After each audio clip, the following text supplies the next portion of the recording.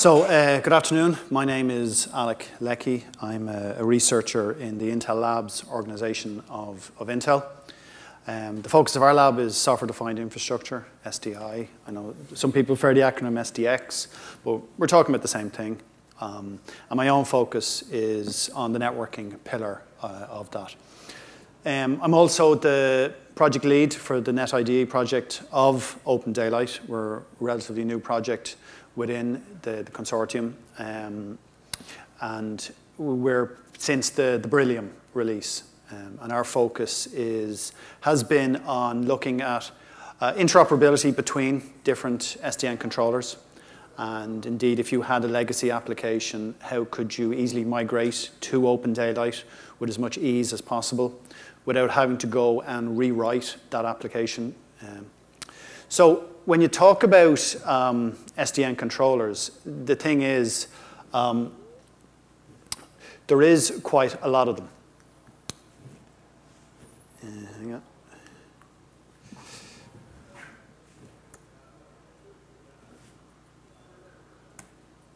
Sorry, bear with me.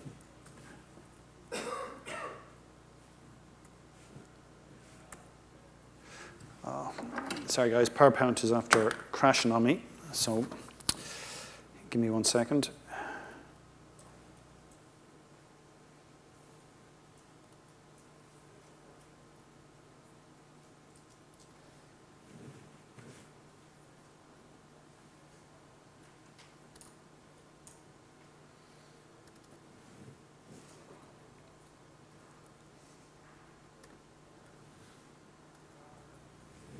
Okay, back again. Yeah, so uh, I was talking about SDN controllers. So th there is quite a lot of them uh, out there. Um, you know, and they all, some of the earlier versions would have been little, probably little more than open flow abstraction layers. But uh, over time, you know, th these have matured, and you'll see, you know, multiple southbound protocols. That's not even a full list. Um, but they all have different execution models.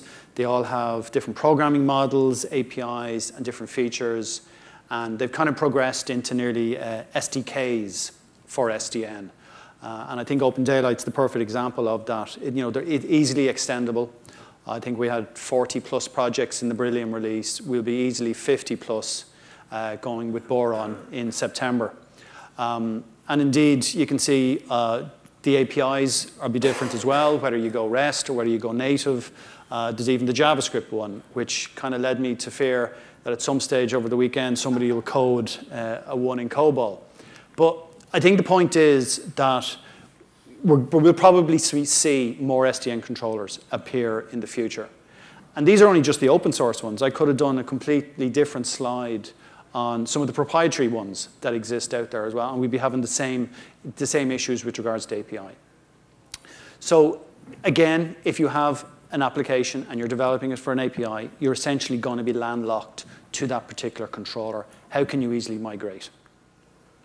So, and that's what we're looking at. Uh, the fact that the feature list of the controllers are slightly different. So one solution does not fit all, depending on what your requirements of your application is.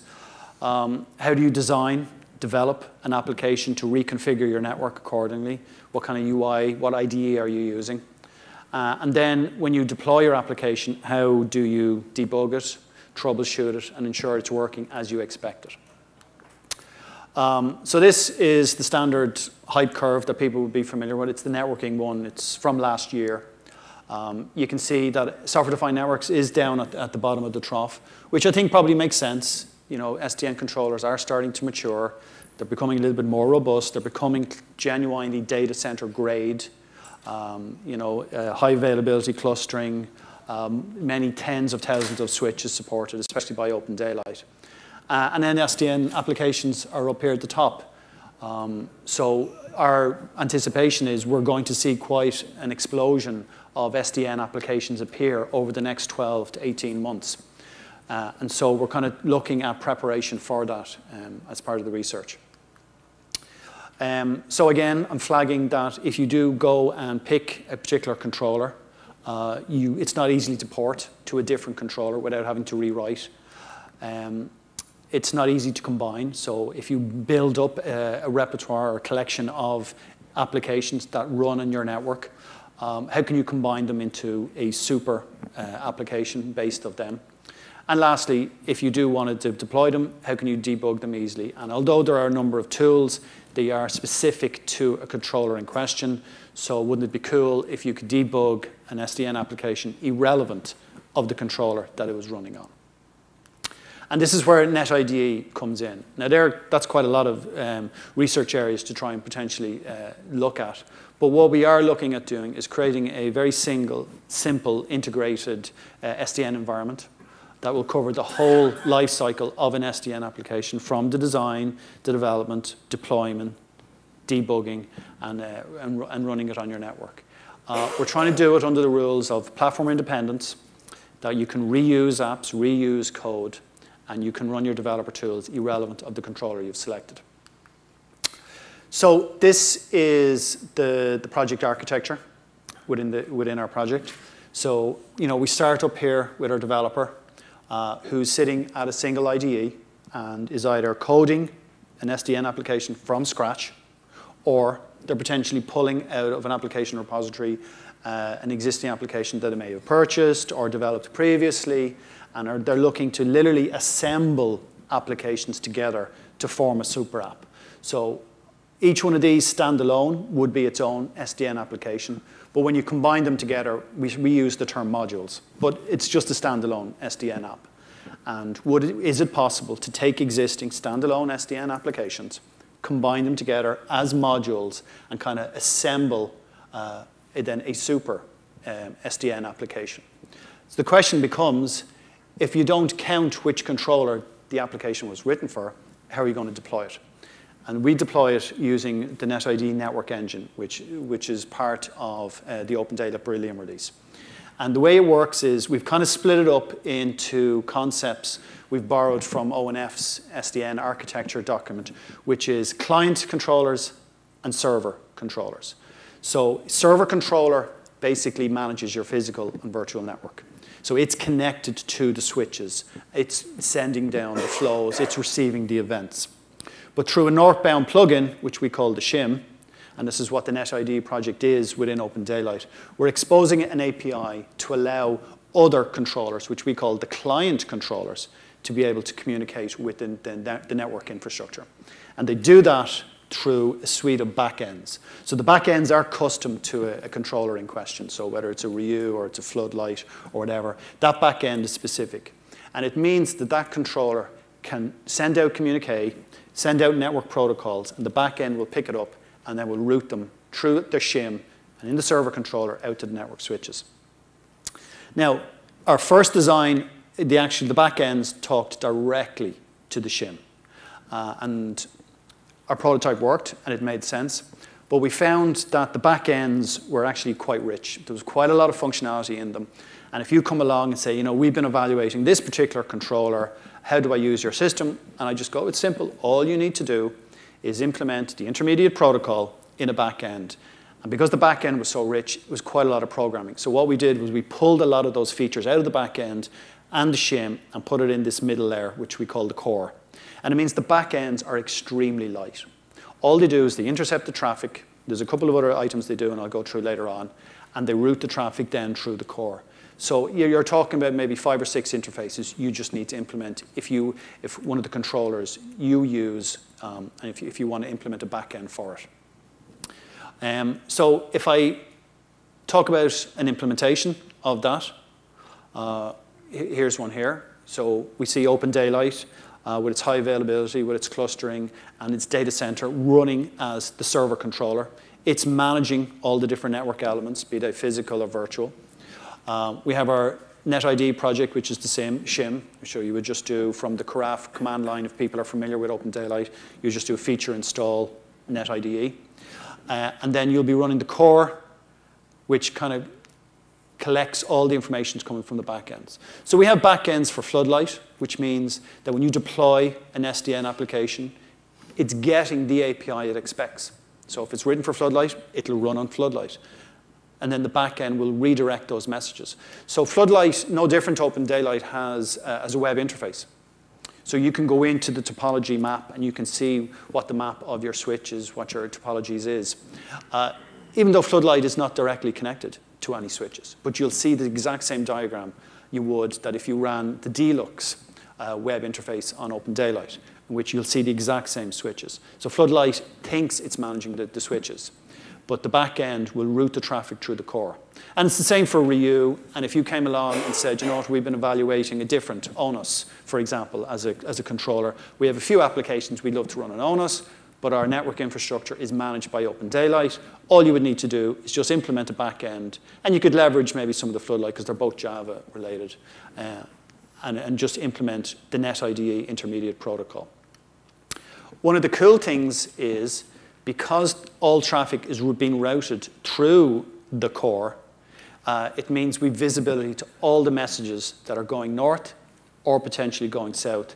And we can look at things like combining applications together. Because the core doesn't care where it's come from. It's seen the messages coming in. It can combine them together. And whether that application runs on Floodlight or whether that application runs on Ryu, we can combine them together. Because at the end of the day, it's just a message going towards the switches. Um, which means in addition to application composition, we can take a look at potentially solving uh, or providing a, an initial solution to the multiple write problem, which is um, that when uh, an application subscribes to switch events and it sends potentially a packet out to go and put a flow on a switch, uh, multiple applications may actually be subscribed to that event and as a result send multiple packet outs with conflicting uh, uh, actions for that particular packet. Uh, and there is no solution at the moment other than whoever arrives second will overwrite the first. Um, so the fact that all the traffic is routed through the core, we can potentially spot the same actions coming for the same event and implement some sort of policy on how we want to do um, conflict resolution. So to implement a backend, all you need to do is implement the NetIDE protocol. And before you go, oh, I have to read a document, I have to go through it, and how am I going to implement it? Uh, we have a Python library that implements it with a number of methods, and we have a Java library that it does exactly the same. So I'm really just kind of giving you the high level information to know exactly what's going on behind the scenes. But all you would need to do is just import whichever library uh, you were needed depending on the back end you were going to do. But you know, you can see some of the basics about it. We've got our own version numbers. I think we're at 1.3 and we've some new requirements that we'll do. So I think we'll, we'll be 1.4 when Boron comes out. Uh, the type, which is kind of leverages the same methodology as the way OpenFlow works, but the type describes what's contained in the body of the message. So it might be an OpenFlow packet that's going north or south. It may be a netconf. Uh, it actually may be some of the um, NetIDE specific information.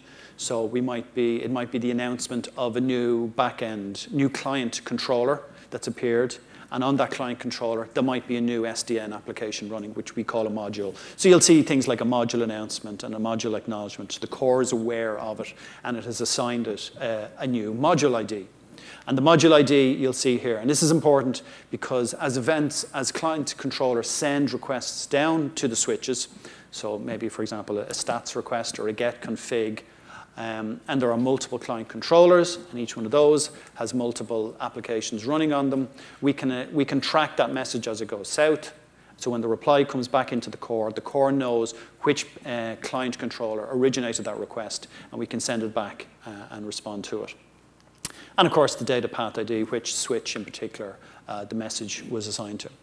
So in our documentation, you know, we have all the swim lanes, and I've just kind of described that, where a module, an SDN application, sends the request out, the backend picks it up, it assigns it transaction ID and a module ID, and it sends it all the way down to the switch, and then how it, how it bubbles back up again. But again, as I said, our, our two libraries, the Python library and the Java library, will do all that for you. Um, so all the traffic is going through the core. Uh, and the core basically implements three kind of features. Uh, it's the interface between the two, the different backends you might have running and, and the actual shim, which is talking to the switches, and managing connections. It manages uh, the messages going north and south. Um, it orchestrates the execution of the different modules. So if you're going to combine them together, and coordinate the messages as they go south and then potentially as they go north as well. So we need to track those messages and send them back to the correct controller. Um, we also have our composition layer as well. So as we take each of those together and combine multiple SDN applications as modules and create a much richer uh, application, composition will look after that through assigning it module IDs and tracking the messages. And then we've got our conflict resolution as well, and I'm going to go through, through them next.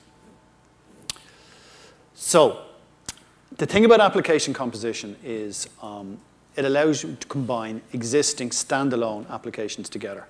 So if you take four standard, four simple SDN applications, like say a NAT service, a layer three forwarding, and a layer two forwarding, and a monitor application. The things you need to set up in advance would be the semantics of how you're going to compose. And we've borrowed these from the likes of FlowVisor, which have been looking at it, or FlowBricks, or even the Pyretic uh, language as well, which runs on top of the POX controller. And they are, uh, do you want to run them sequentially, which is the plus symbol?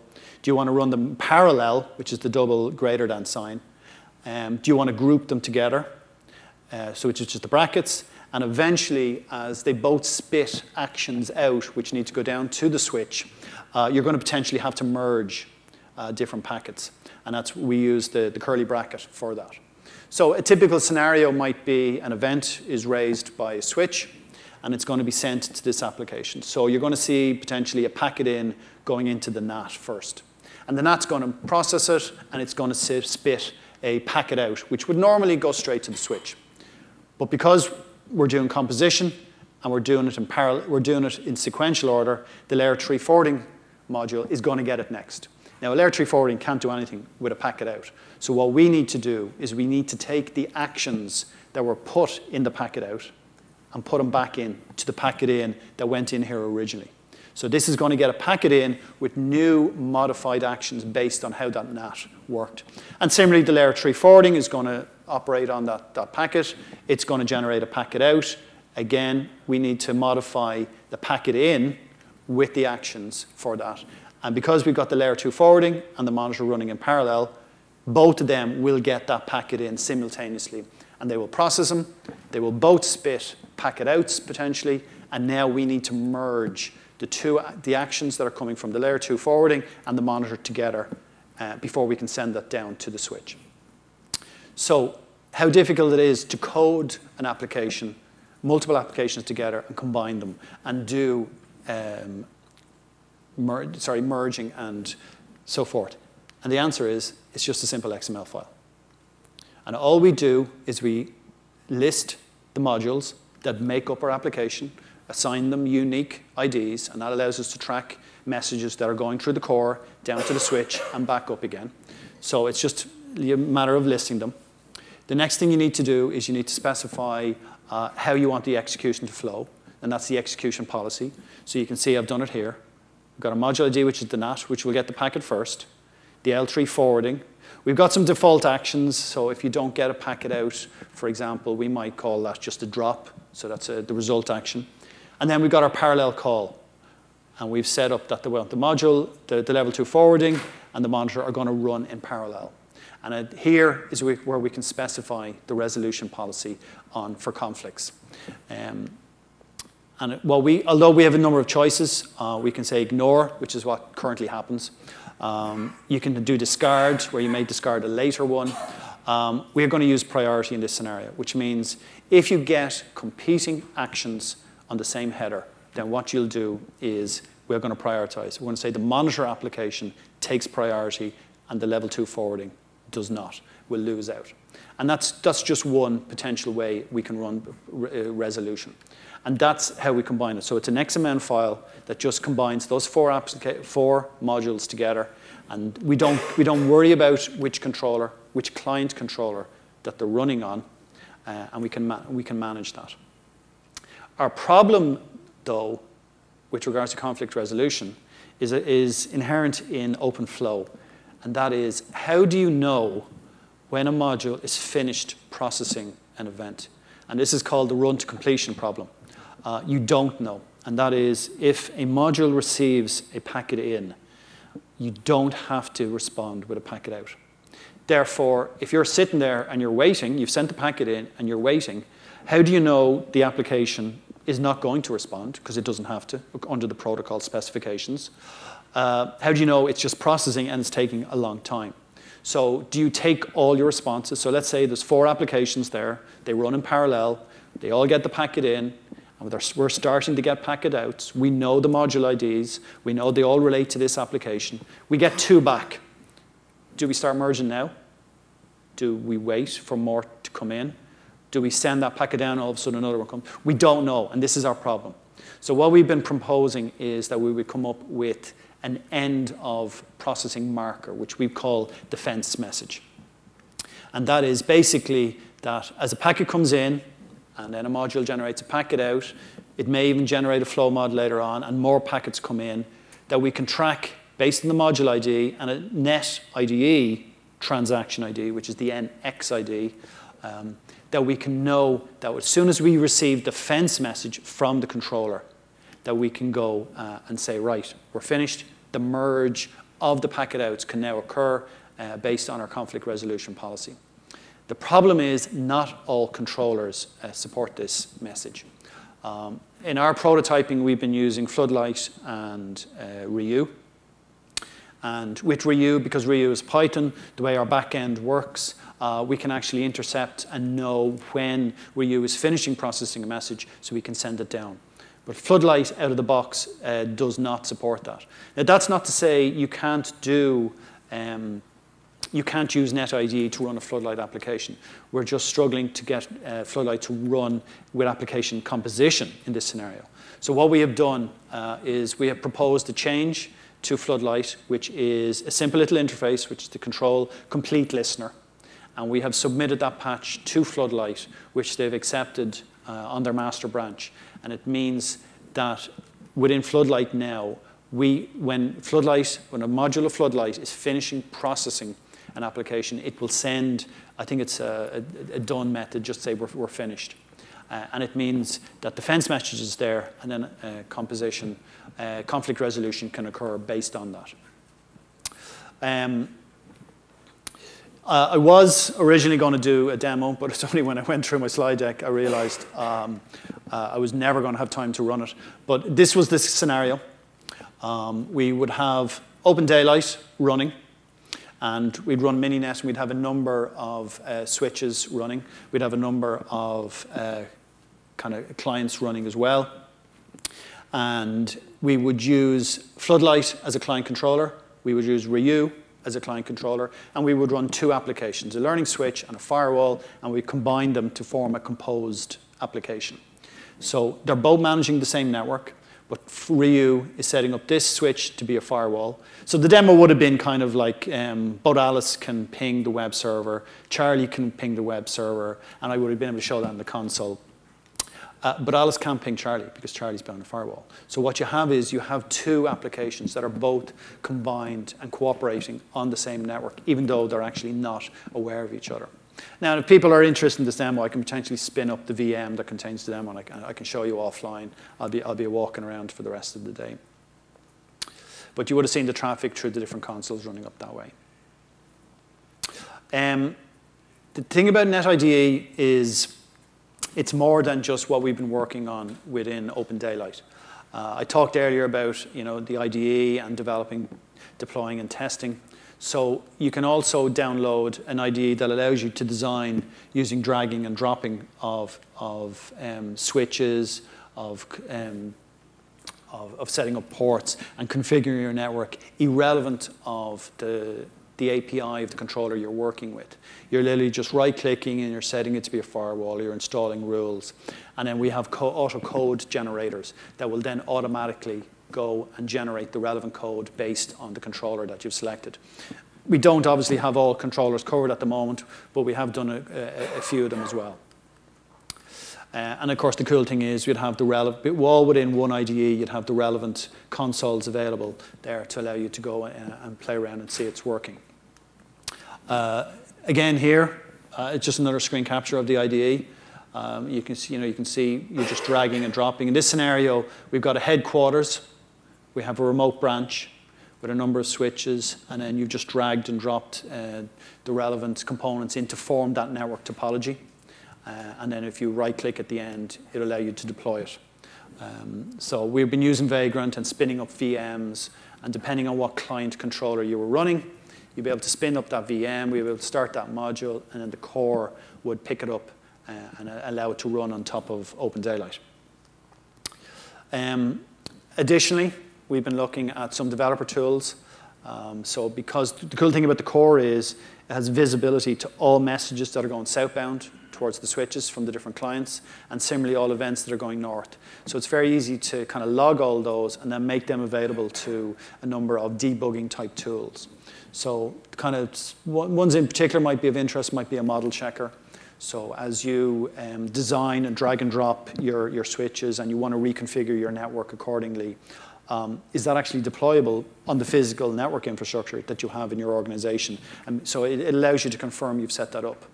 Uh, the profiler is kind of interesting. So um, you can potentially kill a particular switch. What will happen to your traffic flows based on that? Um, and it'll kind of profile uh, failures within your, your application. And then the debugger is kind of based on the likes of OpenFlow replay, where you can see packets and flow checking. Um, so if you want to find any follow-up information on the project, on how we're doing it, uh, your, you know, your starting point would be the Open Daylight Wiki. This is the, the NetIDE project up there. Um, if you're interested in how we've done the IDE, uh, we've put up an initial version on the Eclipse Marketplace. You feel free to go and download and play around with it. Um, if you like the IDE, or if you want to get the code for any of the backends, or any of the tools that I've kind of very high level gone over, if you go to our, our Git presence, if you do a search on, on FP7 NetIDE, uh, you'll find the code for them there. The code for the shim component, because it's part of Open Daylight, uh, doesn't reside under our uh, project uh, repository. It actually resolves, resides under the, the, the, the, Open Daylight Git repository, so you'll find the code for that there. And then we'd have the standard social networking stuff, like we have our Twitter feed for announcements and what the project's currently working on.